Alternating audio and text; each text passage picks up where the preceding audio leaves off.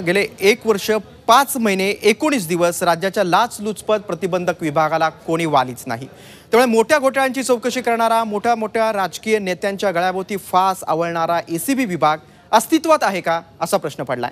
एकतीस जुलै दोन हजार सोळा या दिवसापासून ए सी बीच्या पोलीस महासंचालकांची खुर्ची रिकामीच आहे. राज्यातला भ्रष्टाचार संपलाय की काय? राज्यात भ्रष्टाचाराला मोकळ रान दिलं जात आहे एसीबीला कुणी वालीच नाही का?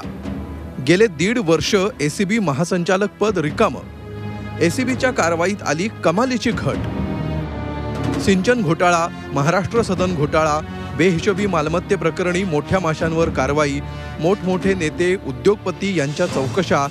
गेल्या दोन वर्षांपूर्वीचा हा लाचलुचपत प्रतिबंधक विभागाचा कारवाईचा धडाका.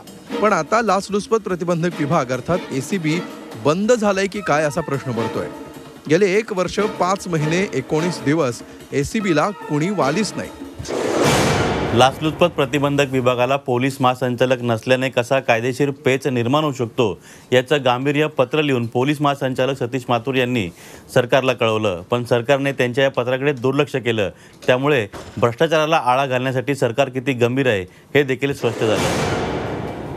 दोन हजार चौदा पासून एसीबीनं कारवाईचा जो धडाका लावला होता त्यात गेल्या दीड वर्षात कमालीची घट झाली आहे. दोन हजार पंधरा साली एसीबीच्या कारवाईतले दहा टक्के आरोप सिद्ध झाले. दोन हजार सोळा साली ही आकडेवारी नऊ टक्के इतकी होती. गेल्या वर्षी मात्र हा आकडा जेमतेम पाच टक्क्यांपर्यंत पोहोचलाय.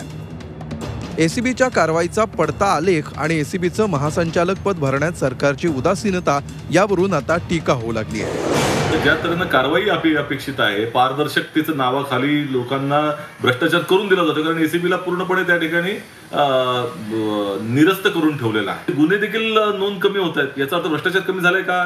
निश्चितपणे नाही. महाराष्ट्र भ्रष्टाचार नंबर वन आहे. त्यामुळे हे सगळा जो काही प्रकार चाललाय तो पारदर्शकतेच्या नावाखाली हा संपूर्णपणे भ्रष्टाचाराला मोकळं रान दिलं जात आहे एसीबीला अवस्था नुसतं सरकारच्याकडनं विरोधकांवरती सोडण्याकरताच केलं जात आहे विरोधकांना दबाव आणण्याकरता केलं जातं खरं तर विद्यमान सरकारमुळेच लाचलुचपत प्रतिबंधक विभागाला अच्छे दिन आले होते. पण शेकडो प्रकरणांचा तपास सरकारचीच परवानगी नसल्यानं प्रलंबित राहतोय. तसंच एसीबी पोलीस महासंचालक पदाबाबत सरकारची उदासीन भूमिका यामुळं आता भ्रष्टाचारांना मात्र अच्छे दिन आलेत असंच म्हणावं लागेल. Ajit Mandhare Zee media Mumbai. Zee चोवीस तास रहा एक पाऊल पुढे.